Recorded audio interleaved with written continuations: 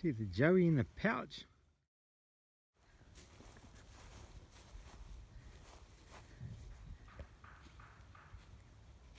I suppose it was a bit rude of me to assume that that was Joey in the pouch.